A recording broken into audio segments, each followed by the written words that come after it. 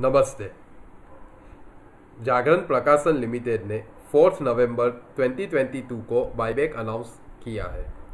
Buyback tender offer route के through होगा at the price of rupees seventy five per share rupees three forty five crore का total buyback size रहेगा, जिससे four crore sixty lakh shares का buyback होगा।